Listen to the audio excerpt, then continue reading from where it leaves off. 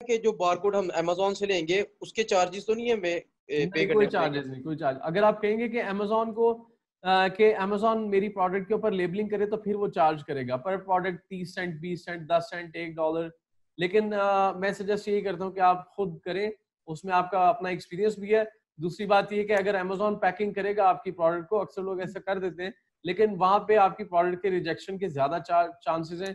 उसकी वजह ये कि अगर कोई प्रोडक्ट में कोई मसला मसाइल और आपके पास मौजूद है तो आप उसे फिक्स वगैरह भी कर सकते हैं या वेंडर से बात कर सकते हैं। अमेजोन के ऊपर आपकी प्रोडक्ट पहुँचने के बाद अमेजोन पैक करते हुए आपकी कोई प्रोडक्ट में गलती खामी पकड़ता तो वो वो माफ़ी नहीं देगा। ठीक है जी?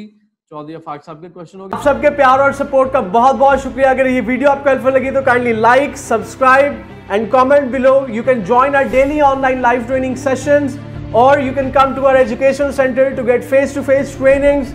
We also provide business management services and sales services जिसमें हम आपके कारोबार को आपके बिज़नेस को कामयाब करके देते हैं काइंडली कॉल और WhatsApp zero three two zero double zero four five three six four